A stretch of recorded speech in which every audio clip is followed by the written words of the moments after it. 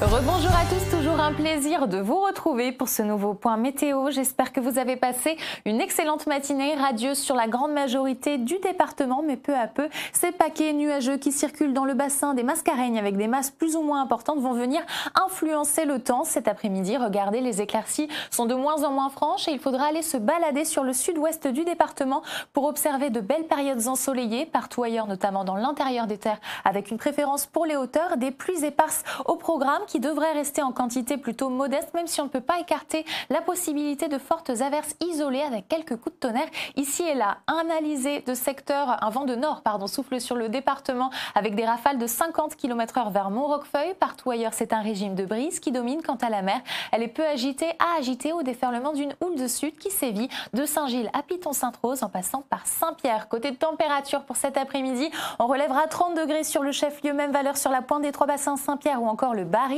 jusqu'à 28 dans les cirques ou encore 19 sur le pas de Bellecombe. Aujourd'hui, nous sommes le samedi 21 janvier. Une excellente fête à vous, les Agnès. La marée sera au plus bas à 19h42 et le soleil, lui, nous quittera aux alentours de 19h05. Quant à nous, on se retrouve ce soir. Je vous embrasse. Excellente journée sur Antenne Réunion.